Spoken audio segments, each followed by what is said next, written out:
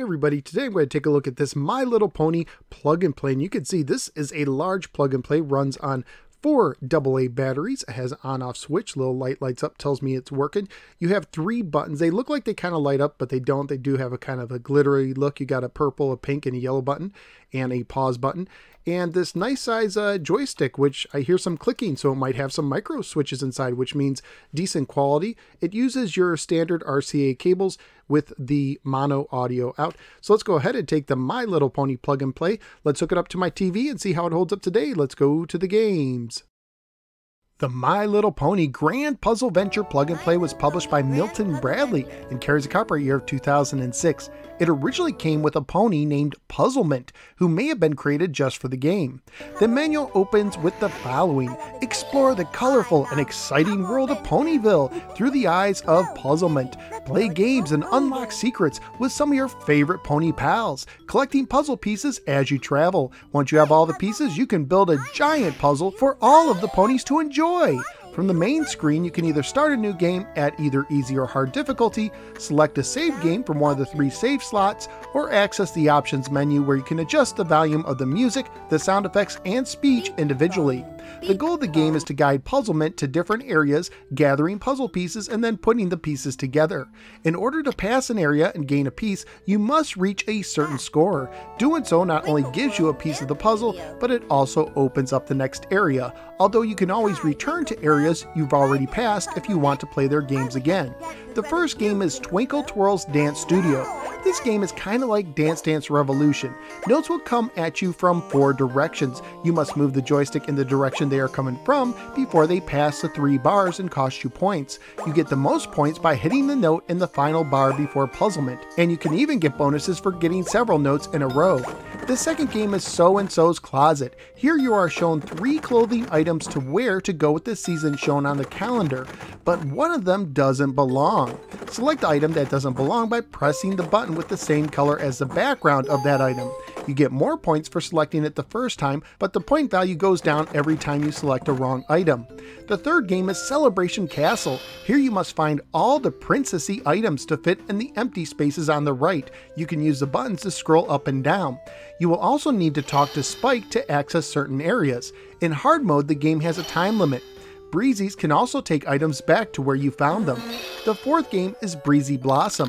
In this game, items are hidden in flowers. To get them, simply press the color of the button that corresponds to the color of the flower that you think has an item. The fifth game is Butterfly Island. Here you try to catch a collection of butterflies. You can also find extra time and a cocoon to fill in an empty butterfly shape. The sixth game is Crystal Rainbow Castle, where you jump with the pink button. You need to touch enough of each color to fill a rainbow. Gray pieces take away some of the colors you already got, while gems will fill in some extra colors you need. At any point, you can return to Puzzlemint's cottage to fit the pieces you have. In hard mode, you will also have to rotate them. Once you finish the puzzle, you win the game, but you can return to the game and play any of the games you want again and again. High scores and progress is automatically saved as you play. Graphically speaking, the game looks pretty good, although fans of the current My Little Pony look might be put off by this version, which more resembles the look of the 1980s. The sounds and the music were well done, especially the voices, which I thought were fantastic. Family friendly wise, this plug and play was made for ages 4 and up. At the time I researched on eBay including shipping, there was only one new copy that sold recently for $26. So what did I think of My Little Pony's Grand Puzzleventure? Overall, I think this is a well-made plug and play for its target audience, but it's not perfect. There were a few times my buttons got stuck in the down position and I think some of the games might be a little too hard for kids around the 4 year old starting point. It may have been better if they just had all the areas unlocked in the easy mode so that if a kid couldn't pass one area, they could at least still play the other games. And let me tell you, hard was actually hard. On easy, I breezed through the game, but on hard, I tried the dance game and I got cooked.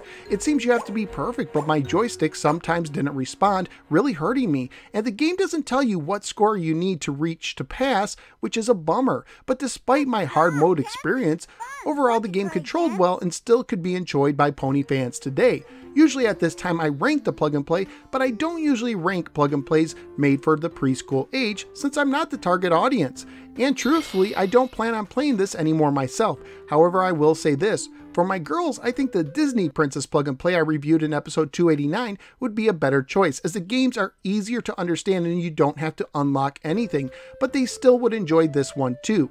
The My Little Pony Grand Puzzleventure plug and play is well made, but the old style of ponies and having to unlock games might turn off some. At least that's what I think. What do you think? Let me know in the comments below. Also, please click like and subscribe and follow me both on the Facebook and the Twitter. I'm also a member of the Retro Junkies Network. At this time, I'd like to thank all my extraordinary Patreon supporters who voted for me to review this plug and play. Thank you all. If you'd like to support the show and gain access to exclusive content, you could do so by signing up at patreon.com slash nosweargamer starting at a single dollar a month. Thank you for giving me a little part of your day, and I look forward to seeing you next time on the next episode of the No Swear Gamer. Take care, everybody, and catch those butterflies.